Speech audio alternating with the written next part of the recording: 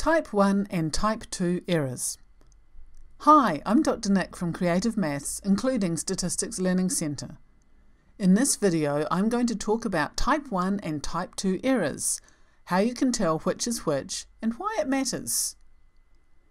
When we draw a statistical conclusion, we can never know at the time whether we are correct or not. There are two different ways that we can be wrong. They are called Type 1 errors and Type 2 errors. In reality, either the null hypothesis is true or it is false. When we perform a hypothesis test, we make a decision either to reject the null hypothesis or not to reject the null hypothesis. If we reject the null hypothesis when it is false, that is a correct action. If we do not reject the null hypothesis when it is true, that is also a correct action. If we reject the null hypothesis when it is true, that is a type 1 error. If we do not reject the null hypothesis when it is false, that is a type 2 error. Another way to look at it is that a type 1 error is when we wrongly say that there is an effect when there isn't one. And a type 2 error is when we fail to find an effect that does exist. In weather warning, forecasters need to make decisions about upcoming weather events. The null hypothesis is that the event will not be life threatening the forecaster gets evidence of a life threatening weather event.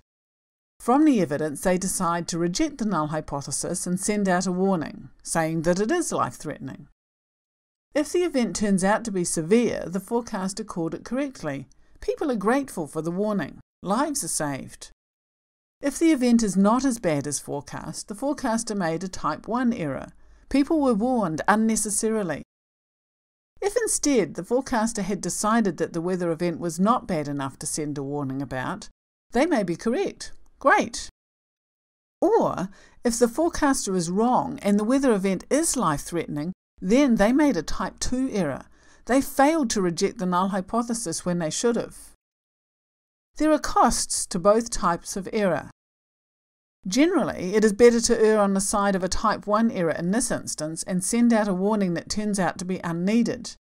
People get strangely disappointed when bad weather events fail to turn up and may start to ignore warnings in the future.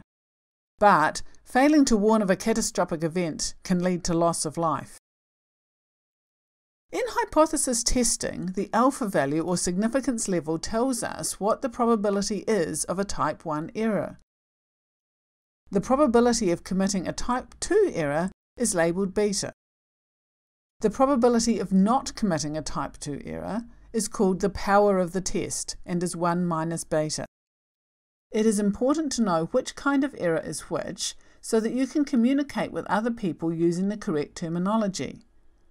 I find it easiest to think, did they reject the null hypothesis? If they did, then they will either be correct or make a type 1 error. If they did not reject the null hypothesis, then they will either be correct or make a type 2 error. It is also important to be aware of the two types of error so that you can make good decisions about your significance level and sample size. This video was type 1 and type 2 errors. Please ask questions in the comments below and suggest topics for future videos. Click the like, subscribe and click on the bell for notifications. And may your errors be as few as possible.